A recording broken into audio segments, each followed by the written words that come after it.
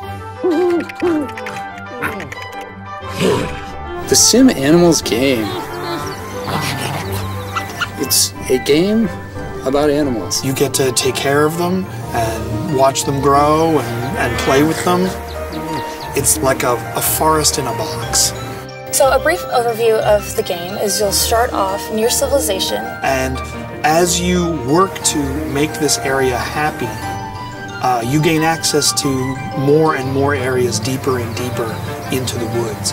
Where you can interact with bears to a little hedgehog and foxes all these other wild animals that you might not see on a regular basis. They're going to be able to play directly with the animals and they win the animals' trust. The animals want you to play with them. It's a game that people are going to be able to figure out right away.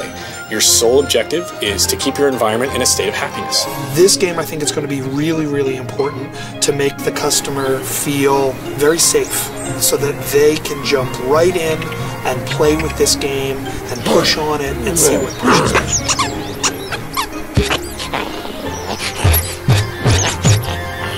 This game is designed for you to be able to directly manipulate the world. You know, pick things up, put them down, stroke the bear, throw a thing here, see if he'll go get it. I mean, everything in the game you're going to be able to reach out and grab, touch, move around. We want people to feel as much as possible like they're really manipulating this world.